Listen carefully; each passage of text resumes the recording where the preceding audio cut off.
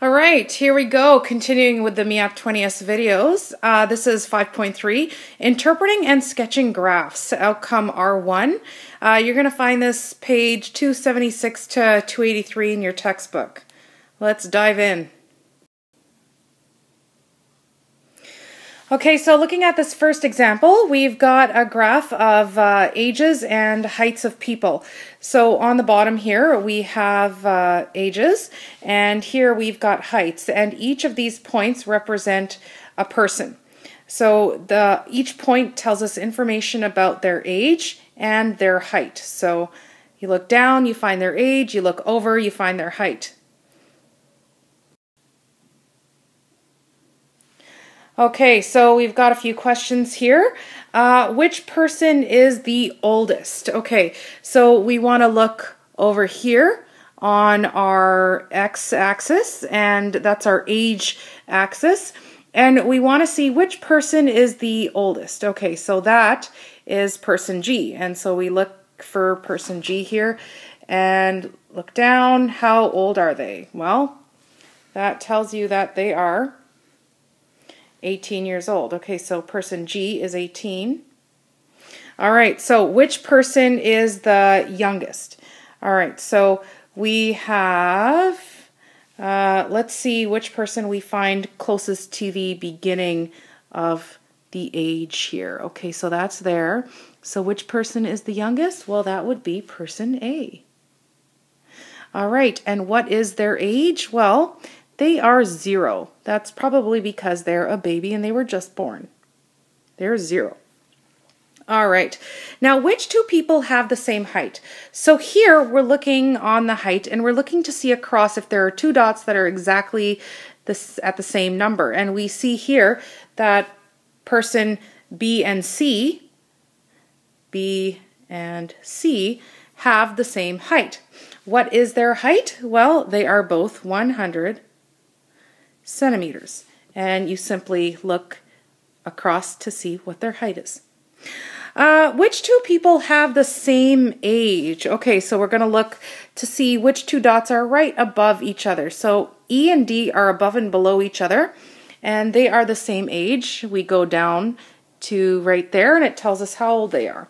So these folks are, so we've got D and E, and they are 10 years, oops, years old.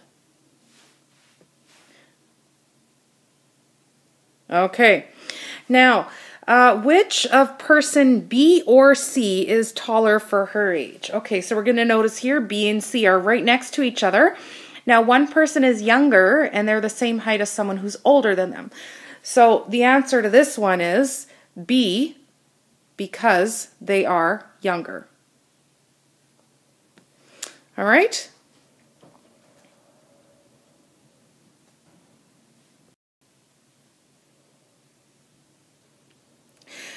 Okay, so this next uh, slide here, this next graph shows us what a day trip from Athabasca to Kikino looks like. And again, here we notice uh, we have time and we have distance. And we want to know what do you think is happening along here? So for two, in two hours, they seem to go 140 kilometers. And then we notice over here in this part that you've got uh, no distance being covered. So what are they doing for one hour? Oh, they're probably taking a break. Uh, now we see here in B and C, uh, we see that they are probably heading back in the direction that they came from. And then they decide to stop again during C and D. So that's a, a horizontal line there. And then from D to E, we notice that they are going back to where they started from. And uh, it takes them an hour to do that. All right, so that's just kind of a general description. Uh, what I'd like you to do is write out uh, what you how you would interpret this graph. Uh, press pause, take the time to do it yourself, and you'll see the answer on the next slide.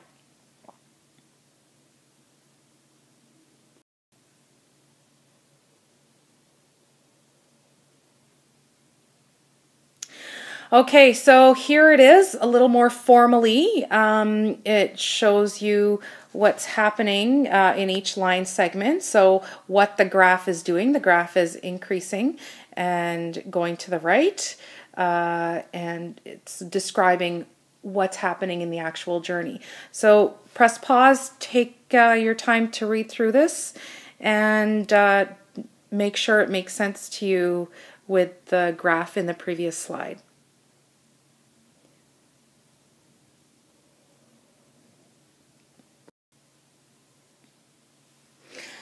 Okay, so in this example, we have some information and uh, we need to interpret it in order to sketch a graph. So the story is uh, Alicia is racing. She's a runner, and so this is her journey. At the beginning of a race, Alicia took two seconds to reach a speed of 8 meters per second.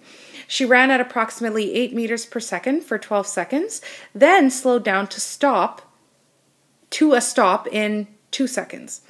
Uh, sketch a graph of speed as a function of time. Label each section of your graph and explain what it represents. Okay, so what you're going to have is you're going to end up with something that looks like this. Uh, what do you think is going to go on this axis? What do you think is going to go on this axis? And you have to uh, figure out what the lines are doing in this portion of the graph. So take a couple of seconds, press pause, and I'm going to show you what it looks like in the next slide, okay?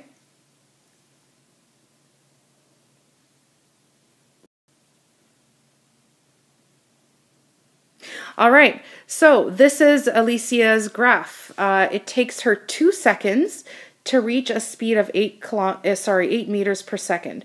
So right here, that's two seconds. It takes her two seconds to get to eight meters per second. Then what she does is she runs at 8 meters per second. So she continues to run at 8 meters per second.